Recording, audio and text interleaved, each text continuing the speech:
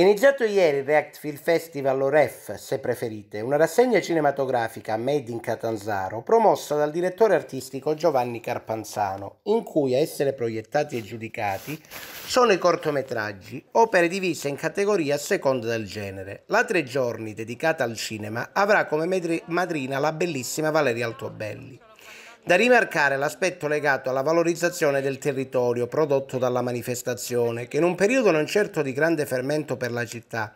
qual è l'inizio di ottobre, porta nel cuore del centro storico dello stesso capoluogo, nell'elegante cornice del teatro comunale, personaggi di assoluto rilievo del panorama culturale e dell'informazione italiana. Il riferimento, ad esempio, è uno dei giurati, Silvana Giacobini, direttrice di note riviste di costume italiane e volto familiare al grande pubblico. Beh, arrivare la prima volta in un posto, in una manifestazione è una bella emozione, però tornare lo è ancora di più, perché quando ecco, ti viene dato una, un attestato di fiducia del genere da ragazzi molto molto bravi, competenti, soprattutto che guardano al futuro con un occhio di grande positività e di grande fattività, perché comunque in un mondo che va sempre più veloce, secondo me il linguaggio del corto è un linguaggio da riscoprire, perché le serie tv, insomma tutte le ehm, opere di più semplice fruizione rispetto ai famosissimi blockbuster sono sicuramente ecco, un qualcosa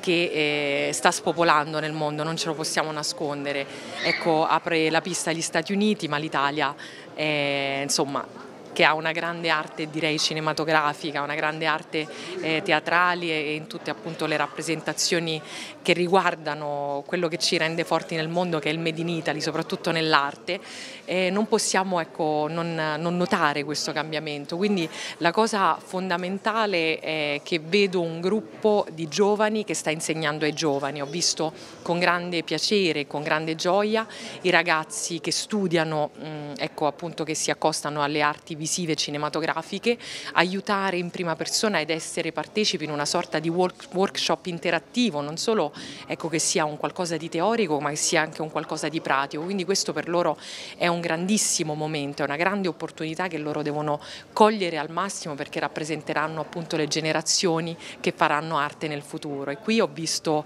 una grande scuola, una scuola retta da professori e da rettori, insomma di tutto rispetto, da cui esce il nostro patron, eh, caro amico Giovanni Carpanzano che ha, devo dire, rivoluzionato eh, l'ottica del festival, perché questo è un festival che tende molto a sottolineare le peculiarità territoriali, ma a farlo in una visione panottica, in una visione onnicomprensiva perché arrivano qui corti da tutto il mondo, quindi questo testimonia l'importanza e soprattutto l'attenzione che eh, si ha nei confronti delle cose che valgono, delle cose positive.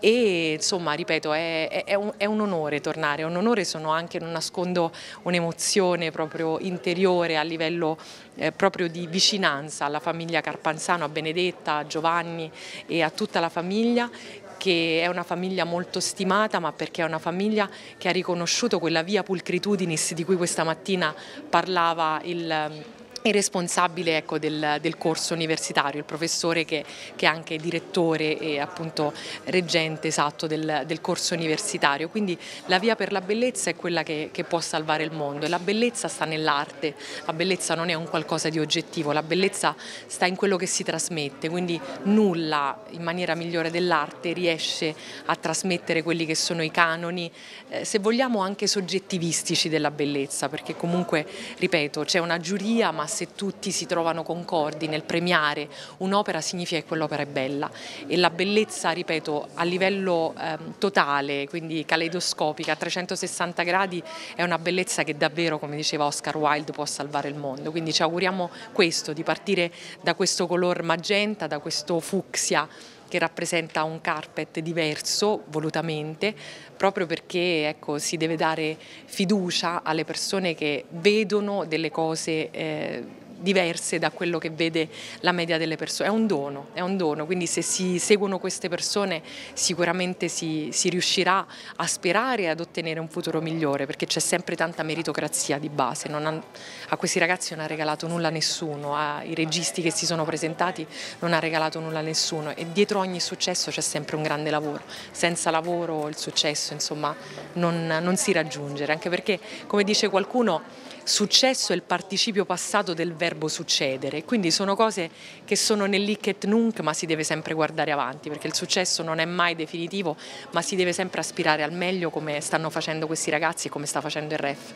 Sicuramente sarà duro il compito dei, dei giurati perché comunque i criteri selettivi sono sì talmente soggettivistici ma sono anche oggettivi da un certo punto di vista, quindi non vorrei essere nei panni dei nostri illustri giurati, non a caso Giovanni ecco, lo ha eh, sottolineato appunto innanzitutto l'importanza dei giurati, c'è da Cristian Marazziti, regista, a Sondra Sottile che arriva dagli Stati Uniti, a Umberto Garibaldi che appunto fa parte di Red Carpet Magazine, questa sera c'è Silvana Giacobini con noi, quindi insomma una Daniele eh, che rappresenta il mondo anche della produzione, quindi una compagine di giurati che rappresenta delle sfaccettature diverse, un Giano bifronte della stessa medaglia, quindi eh, insomma bisogna valutare lati diversi anche in un'opera e ci vogliono delle persone competenti per quel, per quel lato specifico per riuscire a dare un giudizio che sia un giudizio effettivo e soprattutto che sia un giudizio meritocratico. A noi piace questa parola, REF,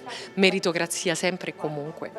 Questa seconda edizione del REF è un'edizione veramente speciale perché oltre all'Academy che continua con le nostre masterclass abbiamo avuto dei corti di grande qualità. Questa sera c'è l'animazione, domani il narrativo, ma sono come l'anno scorso 300 e più corti da tutto il mondo. Quest'anno c'è stata molta più Italia di alto livello che ha un po' eh, ripreso il valore del cinema italiano. La, una delle cose che mi entusiasma sempre è scegliere cinque personaggi della cultura eh, della città di Catanzaro a cui dare il Lupo d'Oro. Eh, il Lupo d'Oro è un premio diciamo, alla carriera o comunque un premio eh, per l'impegno culturale che eh, un mecenate, un artista, un curatore, un direttore ha eh, svolto durante l'anno che è trascorso. Quest'anno abbiamo eh, dei nomi importanti, sono felice di aver ospitato anche personaggi del mondo del cinema italiano e sono convinto che col tempo questa, mh, mm, questa, questa pratica del Lupo d'Oro diventerà insomma, un appuntamento importante anche in Italia. Quest'anno lo ha scolpito lo scultore Giuseppe Guerrisi, l'anno scorso